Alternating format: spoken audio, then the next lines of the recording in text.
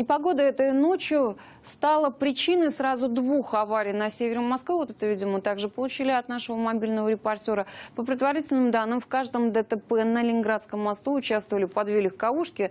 Э, И эти аварии произошли практически одновременно. В одном случае столкнулись такси внедорожник. Оба автомобиля получили сильные повреждения. Подробности второй аварии выясняются. Но уже известно, что в ДТП никто не пострадал. На месте работают сотрудники правоохранительных органов.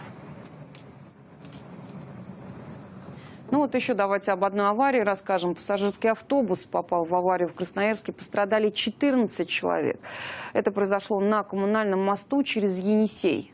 Маршрутный автобус столкнулся с бобкетом. Это такой мини-погрузчик. Все 14 пострадавших легко отделались. В основном у них ушибы, которые они получили в результате резкого торможения. Ну, чтобы снять стресс, с пассажирами работает психолог. Из-за ДТП на мосту через Енисей образовалась огромная пробка.